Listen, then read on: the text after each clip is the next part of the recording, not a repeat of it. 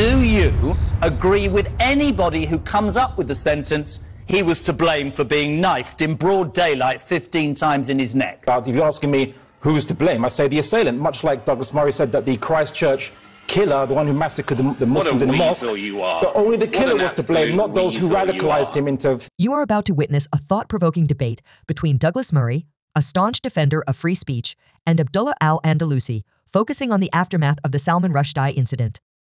In this heated debate, Murray emphasizes the sacrosanct nature of free speech, challenging the notion of its limits in light of provocative art and literature. So for us tonight, there's one big question. Is there such a thing as too much free speech, or should we always defend the right to offend? Now, joining me from New York, I'm joined by conservative author Douglas Murray. Uh, to quote Piers Morgan, Douglas, has the world gone nuts, my friend? You said at the beginning, is there any limit to free speech? And I'm rather disturbed we're still discussing this. It's three decades more since the Satanic Verses affair. It was in 1989 that the Ayatollah Khomeini did the unpardonable, unforgivable thing of calling for the murder of a British novelist for the crime of writing a novel. And we had these debates back then. Uh, where are the limits to free speech? Has Mr. Rushdie committed a crime as well as the Ayatollah? And a lot more guff like that. I'm rather disturbed that in all of the decades since, with all of the people who've been killed for asserting their right to free speech, or asserting their right to say what they think and to and to, for the rest of us to hear it, that we're still at this elementary playground level of discussion. I'm sorry to say that, but this is a long, long answered question. Our societies have perfectly good uh, incitement laws in place. The rest of it, I'm sorry, no, we're not adapting our own uh, speech codes. We're not going to make ourselves more sensitive to people who famously burn books that they can't even read. I mean, the Ayatollah Khomeini had never even read the Satanic verses when he asked Muslims around the world to kill Salman Rushdie. It's an unpardonable thing that has happened.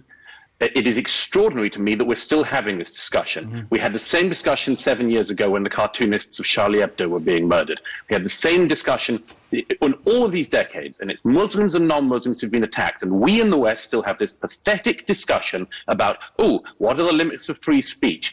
Really, we've got to get better than that. Um, Douglas, I agree with you, but it's not just Islam, is it? We'll talk to uh, Abdul Al Andalusi in a minute. But it's also comedy. We talked about Dave Chappelle, we talked about Jimmy Carr. There doesn't seem to be a week that goes by without some comedian making a joke that a certain group, a certain uh, number of people find distasteful. I, I obviously that might come, be true. Well, well, I obviously come from a different planet because here's what I would say: we have an on-off button. If you want to go and see a comedian. You buy a ticket. If you want to watch a television program, you pick that channel. If you want to read Salman Rushdie's book, you surely have a right. Are we not getting to the point where free speech is under attack in our world, in Well, our course, nation? It's been, but it, well, it's been under attack for a long time. I don't particularly care for a lot of the sort of um, belly aching and complaining on rather frivolous online stuff that I hear from a lot of authors and others. I think that people have to toughen up a bit on some of that. Uh, but this, the Rushdie affair has always been in a different class, and there's a reason for that. And there's a reason why so many people today are willing to make death threats against authors and others for all sorts of things, including comedians. And it's because they saw that it works. Yeah. It works. When the Ayatollah called for the murder of Salman Rushdie, people on the left and right of British politics and of British culture made excuses for the fatwa. I'm sure we'll hear some excuses today. They learned our society's learned that if somebody says, I'm offended, and then says, and as a result, I'm going to kill, you better be damn sure that you're willing to die for that. And unfortunately, the success of the Ayatollah's fatwa, among other things, is that it showed a load of other disgruntled people what they could do if they only had the, had the disgustingness to think that they could exercise violence uh, uh, as an op- opposition to the pen. And I'm afraid that what happened, as I say, is that Muslim extremists across the UK and across the world showed they could intimidate people, and others undoubtedly have learned from this. But let's remember, Britain in 1989, we allowed Muslims in Bradford to burn the Quran, to burn, sorry, the satanic verses on the streets of Britain. We allowed prominent figures like Cat Stevens to excuse the murder of Salman Rushdie on the television. We allowed Iranian officials who had called for Rushdie's murder to live in London. Like, how stupid are we? Interesting, Douglas. Thank you for now, in New York. Let's pick up now with journalist Martha Gill, uh, Emma Webb from the Free Speech Union, co-founder of the Muslim Debate Initiative, Abdullah Al-Andalusi. Uh, let's start with you, if we can, Abdullah. Um, quite a strong rhetoric from Douglas Murray. Um, I'm always aware that Muslim extremists do not in any way speak for the majority of Muslims, but to be fair, the Iranian government over the weekend said Rushdie was to blame for being attacked. That is completely and utterly despicable, isn't it?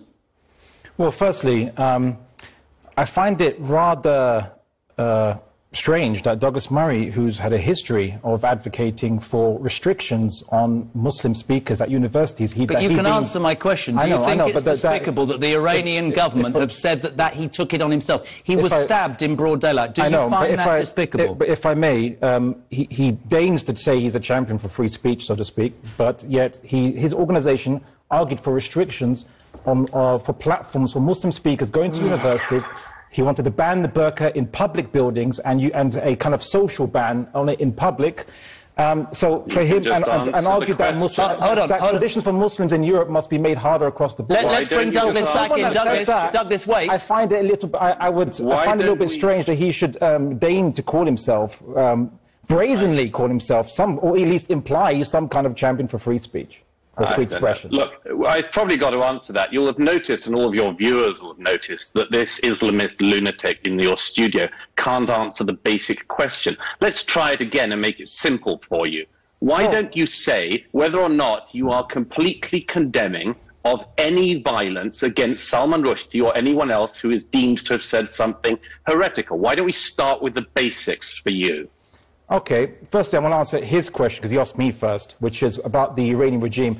Well, having not being an Iranian citizen nor participating in any elections to elect the Iranian regime, the Iranian doesn't really represent 1.8 billion Muslims. okay, so if you're here representing 1.8 billion Muslims, um, it's very simple. Douglas um, has just said it. Do I'm you, do anyone. Do, all right, as your own self, having heard what he said, yeah. do you accept people saying, be it the Iranian government or Muslim extremists, and I made the caveat and I repeat it, Muslim extremists, that one of the biggest problems I have is that people look at the whole thing and they shouldn't. Do you agree with anybody who comes up with the sentence, he was to blame for being knifed in broad daylight 15 times in his neck. Do you?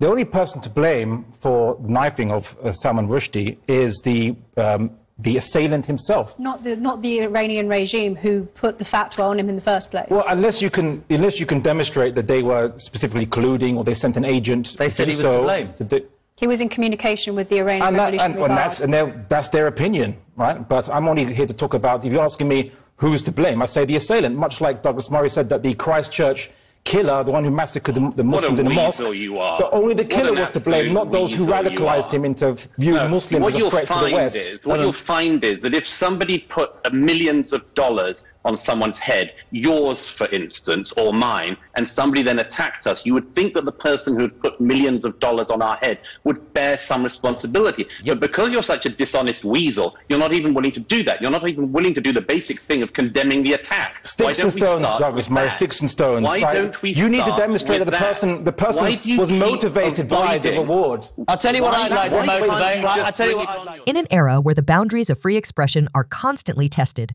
Douglas Murray's argument stands as a beacon of clarity.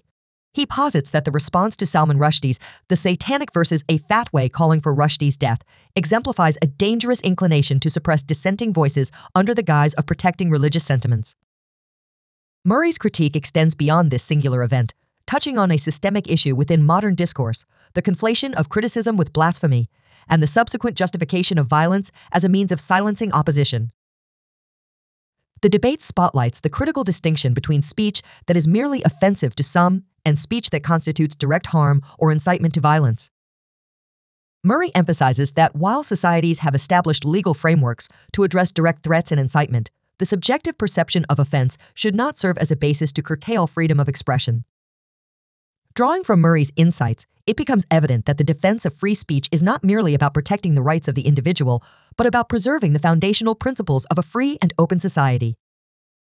He underscores the danger of capitulating to demands for censorship based on subjective offense, highlighting how such concessions can erode the very fabric of democratic discourse. Murray's arguments resonate with the views of other prominent thinkers and defenders of free speech. For instance, John Stuart Mill, in his seminal work on liberty, argued that silencing an opinion is essentially robbing humanity, posterity as well as the existing generation, those who dissent from the opinion still more than those who hold it. Mill's assertion that the clash of ideas is necessary for the discovery of truth underscores Murray's defense of free speech as a catalyst for societal growth and understanding. Recent surveys and studies have highlighted a growing concern regarding the erosion of free speech rights globally.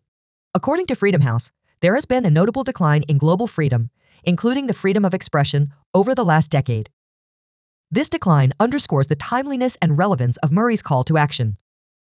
The defense of free speech is not just an academic or ideological stance, but a pressing necessity in the face of increasing attempts to curtail these freedoms, whether through government censorship, social media regulation, or societal pressure to conform to majority viewpoints.